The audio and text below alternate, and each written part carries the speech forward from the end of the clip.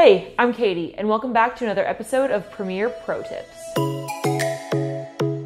Today, I want to show you how I edit vertical videos in Premiere Pro for Instagram stories and IGTV. I've been super into making micro content for IGTV lately. I think like a three to five minute video is perfect for the platform, something just fun and casual and super easy to do.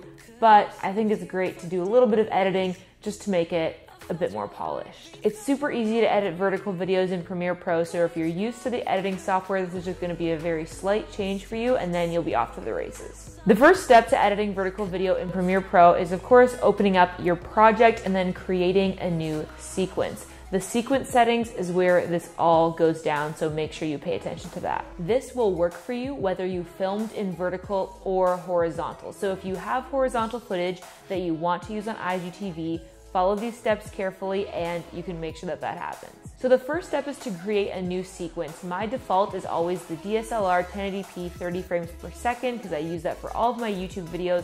I like that one because I shoot a lot of stuff in 60 frames per second and then use that for slow motion in 30 frames. So I think this is just a good default setting. By default, this is gonna give you a 16 by 9 horizontal HD video that um, you kind of see as a standard on YouTube. To change that up, all you need to do is go to sequence settings and then flip around 1920 and 1080 until the aspect ratio says 9 by 16. Then hit OK and you're ready to go. You have a vertical sequence that you can now edit in.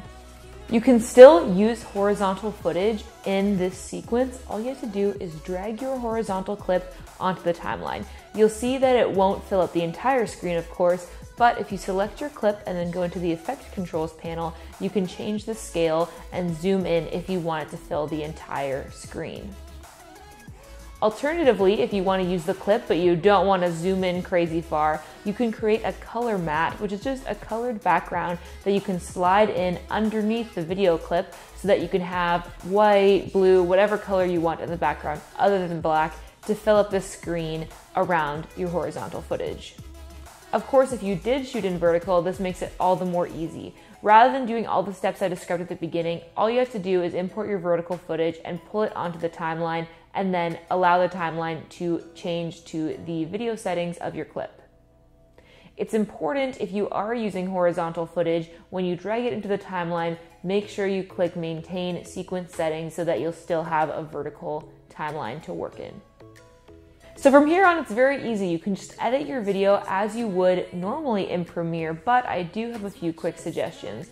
If you are creating this video for Instagram stories or IGTV, there's a number of things you can do to make this video feel more native to Instagram. I think one thing that absolutely kills engagement on social media platforms is just copy and pasting your YouTube video onto Instagram TV and assuming people are going to consume it the same way they do on YouTube. They just don't.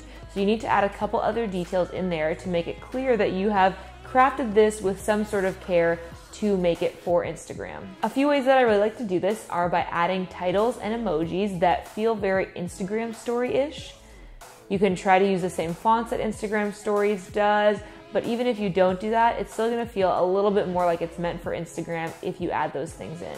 Another really important feature of making videos, especially for Instagram stories, but as well for IGTV, is using captions.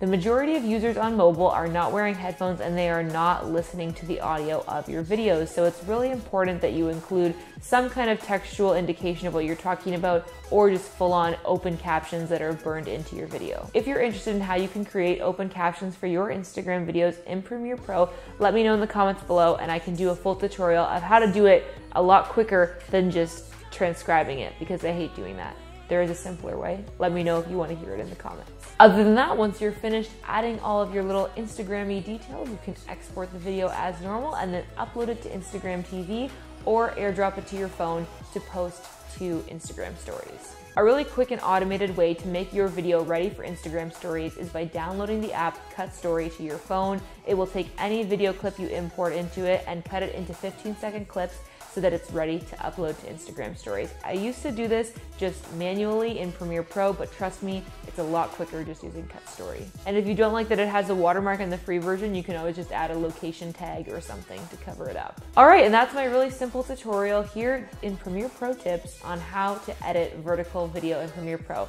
Please do let me know if you have any questions about what I went over in the video in the comments below and I will definitely answer them. Also give this video a thumbs up if you liked it. I would really appreciate it. And subscribe for more if you want to see more videography and editing tutorials just like this one. As always, I love you all. I hope you're following your dreams and I'll see you in the next one. Bye!